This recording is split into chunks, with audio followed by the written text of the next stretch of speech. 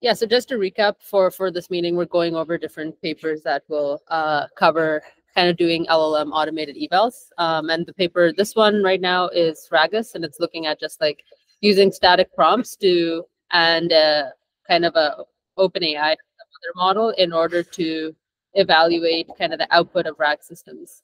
Um, and the paper that we are going to be reading, um, the focus of this meeting is on um, is is the paper called Luna, which actually trains its own um, DeBERTa model, so a smaller 440 uh, million model that is able to essentially um, that is able to essentially just figure out like what the spans and long context um, documents that were hallucinated versus not. So yeah, before we talk about that, was just going over over RAGAs in a little bit more detail because this is generally the current framework that most people use. Um, so yeah, so they kind of have these different um, prompts and kind of um, scores in order to generate these few metrics. So as I mentioned, the first one is faithfulness. Um, so it says that the answer is faithful to the context Q if the claims that are made in the answer can be inferred from the context. So to estimate faithfulness, we first use an LLM to extract a set of statements. Um, the aim of this step is to decompose longer sentences into shorter, more focused assertions. Um, yeah, so given a question and an answer, create one or more statements from each sentence in the given answer. Um, where question answer refer to the given question and answer. For each statement, um, the LLM determines if S of I can be inferred from C of Q using a verification function. The verification step is carried out through this prompt. So essentially, it's just like taking the response, um, breaking it down into all of the different facts that are included in that, and then given the um, and then it's trying to figure out, yeah, if if each of the statements can be verified using the context. So yeah, consider the given context and following statements and determine whether it's supported by the information present in the context. Provide a brief explanation, yes or no. Provide a final verdict for each statement in order to, um, in order, do not deviate from the specified format. Um, final faithfulness for F is com then computed as B, the number of statements that were supported and the total number of statements. Have, have any of you guys used RAGAs before, by the way?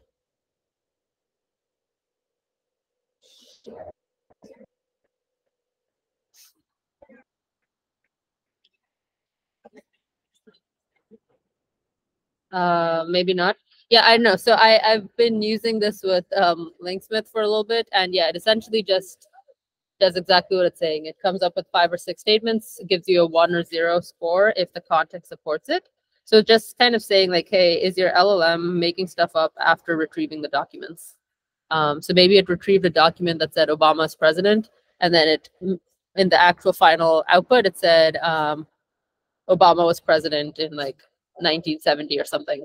So that like extra information is not supported from from the documents. Um, and then the other metric they use is answer relevance. So we say that an answer is relevant if it directly addresses the question in an appropriate way. Um, in particular, our assessment of relevance does not take into account factuality, but penalizes cases where the answer is incomplete or contains redundant information. Um, yeah. So it's just saying like, is this tangential? Is this how related is this to the question? Like, so if you ask, are are cats mammals, and it answers something about dogs, it'll say false. Um, yeah. So it, essentially this is just like backward tracking right? So given um given the answer it generates a question and it sees how similar the question is with the original question. We obtain the embeddings for all questions using the ada ada model available from openai. For each question we calculate the similarity with the original question and the cosine similarity between the corresponding embeddings. The answer relevance score ar for the question is this computed as sum of all of the similarity scores um, cool. Okay. And then the last one they mentioned is context relevance. So the context um, CFQ is considered relevant to the extent that it exclusively contains information that is needed to answer the questions. In particular, this metric aims to penalize the uh, inclusion of redundant information to estimate context relevance given a question Q and its context CFQ. The LM extracts a set of subset of sentences subset of sentences um, from CFQ that are crucial to answer Q using the following prompt, right? Please extract relevant sentence from the provided content context that can potentially help answer the following question. If no relevant sentences are found, or if you believe the question cannot be answered, return insufficient information. Um, while extracting candidate sentences, you're not allowed to make any changes to sentences from given context. So yeah, it's number of extracted sentences over total number. Um, so this is more of like a recall score, right? Like how many of everything you got, how much is actually relevant versus how much like uh, irrelevant context did you retrieve. Um, yeah, so this this is kind of as mentioned, kind uh, it's been pretty popular over the last year, I would say. Um, it's a startup now that's trying to do this evals, and they the main thing though is that you can use these prompts or this kind of scoring approach with with um, any model. So it's kind of model agnostic. The kind of obviously the um, the performance of this will like really depend on the model because I think as you guys have probably seen or heard, GPT models favorite GPT answers, Claude models favorite Claude answers, and so forth. Um, sorry. Um, but yeah, so this is this is kind of one of the approaches that this this um, uh, the paper, the current paper we're going to read is kind of benchmarking off of. And it says the main, even though this is good in terms of like how it takes the, um, how it takes the question and the context in order to generate the answer, it has the drawbacks in terms of, of the model, like one being as expensive as the actual generation, right? Because you're essentially just making two OpenAI GPT-4 to OpenAI GPT. Actually, three calls, right? For each of these, you're evaluating it. Um, so yeah, it becomes much more expensive. Um, any questions about RAGAs, or we can go back to the Luna paper?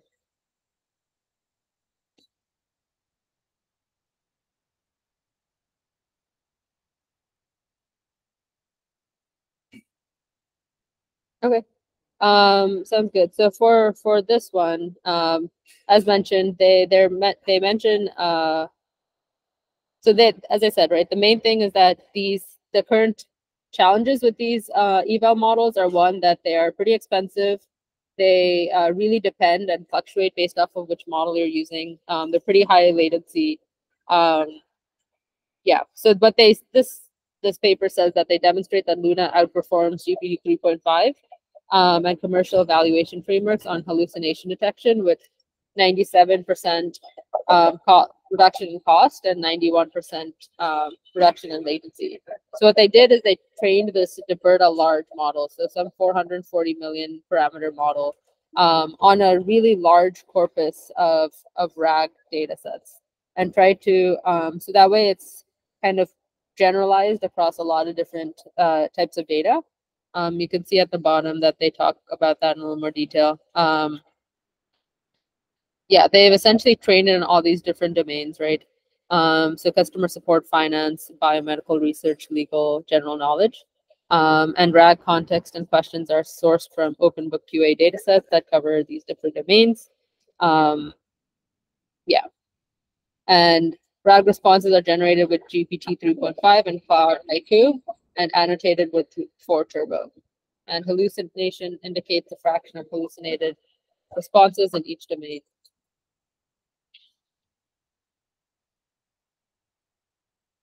Um, okay, so yeah, so that being said, I think this is an interesting thing. This is what I kind of, we can go through the paper kind of slowly, but um, I just want to mention. So one of the things that this is mentioning, right, is so this this fact is right, right? Washington D.C., the capital of the U.S., was founded in 1791. But one other challenge that this paper is tackling is essentially once you chunk the entire article into a lot of different sections, right? Um, if if your retriever only retrieves um, a few different sections, it's going to uh, come up with a different metric on the the percentage of hallucination, right? So in naive context chunking, it leads to hallucination, false positives when supporting information is scattered throughout the text. And without insights on which specific spans were supported, not supported by the context, it's impossible to arrive at a correct, correct conclusion that the response in this example does not contain hallucinations. Um, so yeah, this here we, we can come back to this, but um, yeah, so those are some of the challenges. One is the the latency, the cost, um, kind of maintaining systematic um, eval across different types of models, and then also trying to identify once you do all of this chunking, if you're both retrieving the right chunks as well as once you retrieve those chunks, being able to generate the right response. Um, okay, cool. So how this works is, um, yeah, we went over most of the other options. So these are some of the other things kind of that you might have heard of. RAGAs is the one we just talked about. 3.5 ChainPoll, chain pole and TruLens are um, other. TruLens also wrote up a paper that they compare this against called ARES, which um, essentially does does this uh, training. Here we can go through that. Um,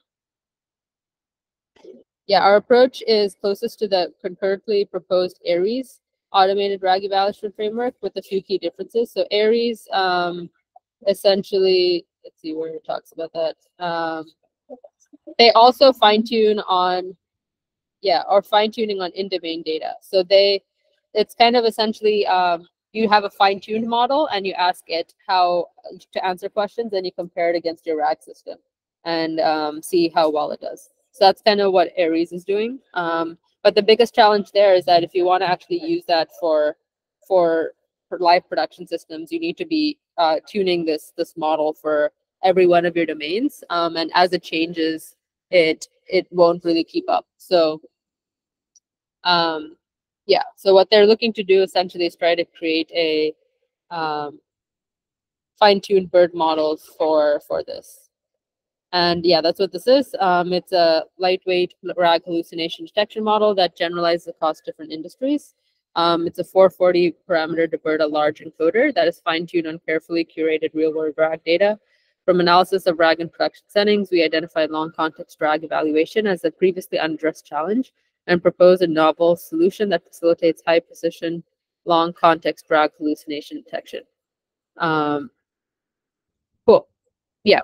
And then the main differences against this kind of um, in-domain fine-tuning approach called ARES is um, ARES requires a validation set of in-domain data to fine-tune a custom evaluation model, while Luna is pre-trained on a cross-domain corpus. Um, and then Luna also does um, kind of span detection, as we'll see in a few minutes. It try to, tries to identify the start and end of each hallucination instead of just giving a Boolean response on this is a hallucination or not. And Luna is optimized to process up to 16K tokens um, on deployment hardware. Cool. So yeah, as mentioned before, when we're looking through the RAGAs paper, um, they kind of have this concept of trying to identify what is supported tokens in response given a query and the retrieve context. Um, so framing this paper allows it to kind of be similar to this faithfulness metric that we just mentioned, um, which is of the context provided, how much uh, is that actually being supported by the context um, in, in the answer generated, right? Um, so yeah, they aim to identify hallucinated spans in the response rather than just doing a, a Boolean of yes or no. And while predicting spans is a more challenging approach, it actually kind of allows you to to do it for for long form context where um, you can actually trying to retrieve the right chunks and figure out if there's a hallucination is much harder. Um, okay, so now the next part that they talk about is like how they handle the chunking approach, right? So um, in sing consider a single input into the RAG evaluation model that consists of tokens, uh, question tokens, and a response. Uh, so this is just, yeah, as I said, like you fetch relevant context, then you have a question, you generate a response. If you're working um, with the evaluator model that accepts maximum sequence length of L, um, but the context is much larger, right? So this is the general thing, like how to break it up into windows such that each window contains the question response and a subset of the context tokens. Um, so that's kind of what they're saying here is this is a window. It's a concatenation of some amount of context, the question, and then the responses. Um, and there are NL windows, for example. Um, in figure three, there are three such windows. Our model outputs support probabilities for each of the response tokens in W. Uh, we train with the cross entropy loss on each token output. During training, we leverage granular token level support labels to adjust the training labels in each batch based on which context tokens are present in the window. Um, so yeah, this is going back to what we were mentioning before, right? So here um, in figure three, Washington, D.C., the capital of U.S., is supported in window one. Nothing is supported in window two and was founded in 1971 is supported in window three. Um, so these are the three contexts, right? One, two, three. Um, they're trying to figure out like which um, which of these are supporting. So this is, yeah. Um, at inference, we aggregate example level support probabilities by taking the to taking the token level maximum over windows. Um, example level support probability for token J is defined as um, the max of like you know, over all the windows of the probability of that window actually supporting the final response. Um, to pr produce an example level level label, we take the minimum over our tokens so that the overall probability, support probability is no greater than the support probability of the least supported token in the response. And then finally, the derived example hallucination probability as P hallucination is one minus the probability of support. Um,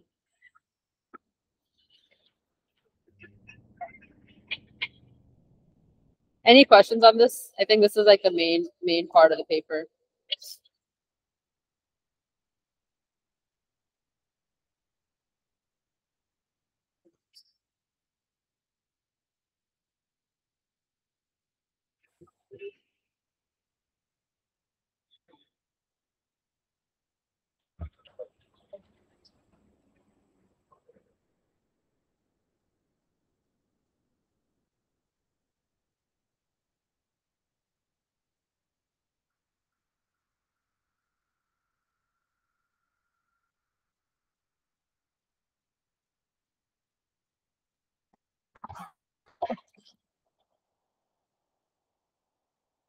No questions?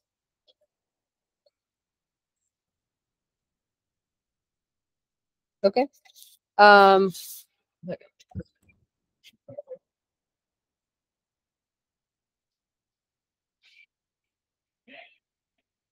okay, so yeah, then they go into training, right? So to leverage this, what they do is they essentially create this data set to um, train the model across three epochs with cross entropy um, on the loss of each response token initialize the learning rate, et cetera, et cetera. Um, then they do this on these these different types of RAG data sets. Um, so there's, as I mentioned, customer support, finance, research, legal, general knowledge.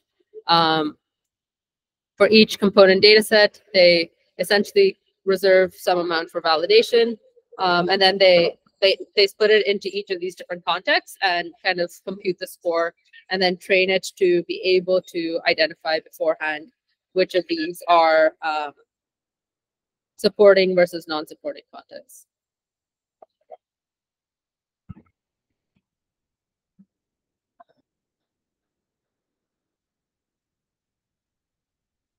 So this shows their kind of evaluation on each of these different approaches, right? So um, GPT 3.5 prompts, self-check GPT, um, fine-tuned llama, um, ChainPoll, RAGAs, groundedness, and then Luna. Um, and they do it for each of these different types of question um, question formats and RAG, right? So question answering, data to text writing, and summarization.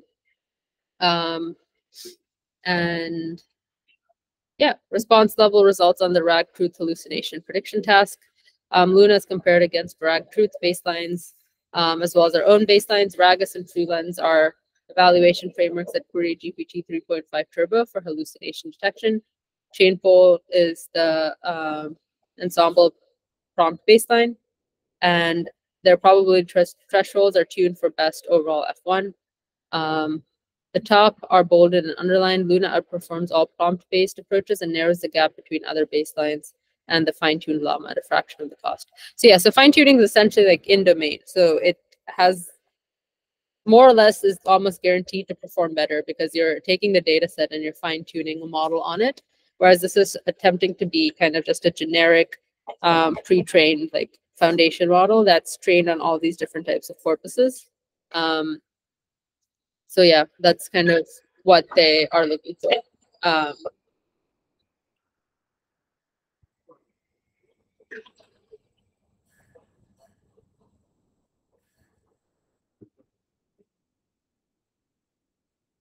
and then the rest of this paper is really just going through uh, how they kind of the main thing, right, is if you're using um, if you're essentially using this much smaller uh, BERT-based model, like you're gonna get massive savings in latency and uh, and cost.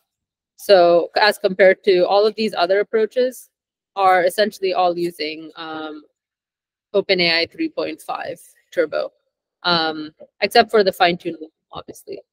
But yeah, so each of these are using Turbo, and they're showing that by using the much smaller kind of DeBERTa model, they're able to get higher performance by using this kind of approach for training the model to identify what's hallucination versus not. Um, yeah. So essentially what they do is they, as you said, we can go over this one more time because I think it's like the most interesting thing that they did is just being able to um, chunk it into various different windows and then uh, predict the probability of each chunk actually being a support for the final response. Um, and then they do that token level. So as you can see here, um, for each token, they've actually predicted a score on if it's actually if it's supporting the response or not.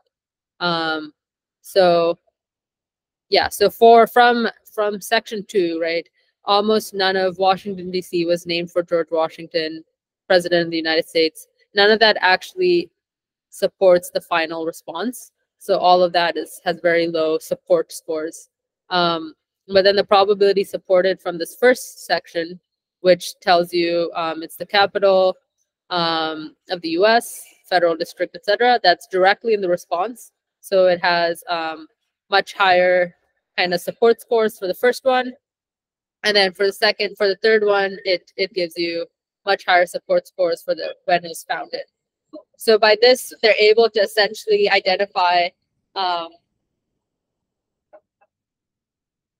exactly what parts of the the input kind of the context is directly supporting various different parts of the output text and they're doing that on a on a token by token level um, for each of the different contexts um, and then the overall supported score is going to be yeah the max of all of this. So you could say that okay this one chunk supported it with a very high probability. None of the other chunks did. So you take the max. And then um, yeah. And then the probability of hallucination is one minus the min of this. So um, yeah, I think the min of this is 0.8. So they say that the probability of hallucination is 0.2. I don't know. I think it's kind of clever.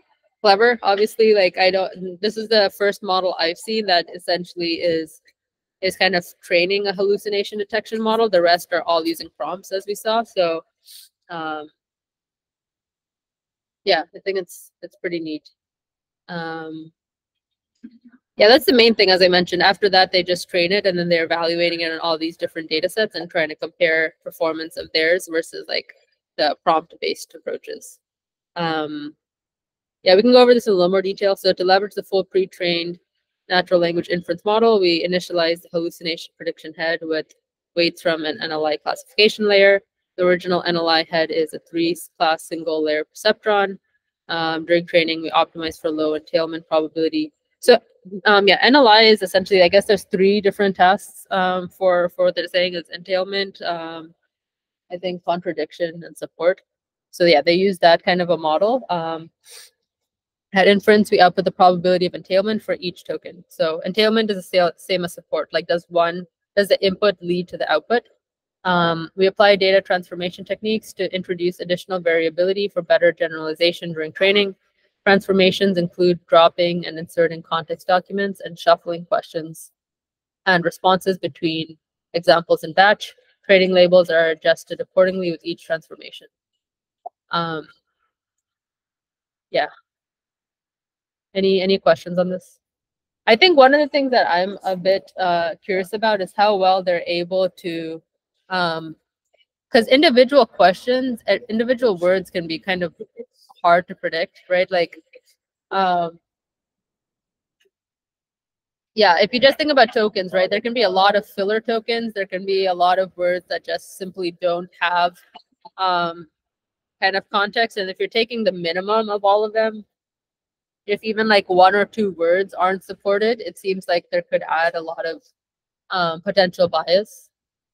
But yeah, I'm not I'm not sure. This for like for this one example, it, it seems to be good. But if you think about, I haven't tried it out in, in, in production yet, but just based off of what they're claiming, it seems like yeah, seems like it could be weird because there could be a lot of um, input statements that have you know a few words that aren't supported and then if you're taking the minimum of all the support scores um, and if you're doing it on a token by token level it's not necessarily claiming a fact it's claiming more like is each individual word supported? Um, i don't know seems like a potential but i don't know it seems to have worked so maybe that's not really a concern but that's just one thing that kind of bothered me a little bit while i was reading this um, cool. Is there anything else you guys want to discuss about this paper? Um, yeah, this is not open source. It's, I think it's, I'm pretty sure it's like um, part of the Galileo framework. So if you want to use it, you need to pay for Galileo. But um, yeah, I don't know. The the in theory, it sounds pretty interesting. And there'll probably be more, more, more models that now come out that try to use a similar approach to um, see how much of how much of the context is is directly supported by the response, and then based on that, um, giving you a score.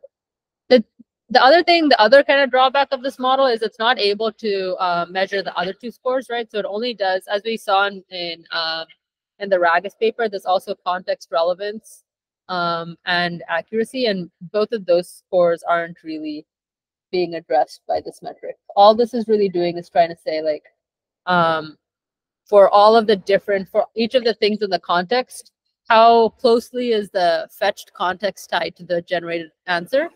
Um, but yeah, it still doesn't really um, take into consideration if you actually fetch the right context in the beginning and also the other metric of like, did you fetch a lot of extra context that's not actually relevant to your answer?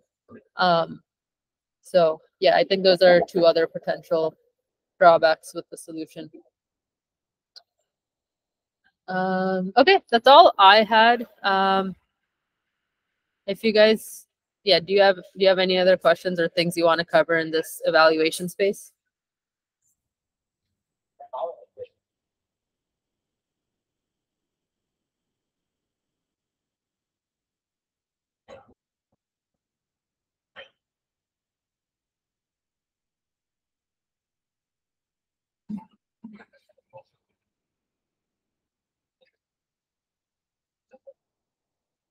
Yeah, no problem. Um,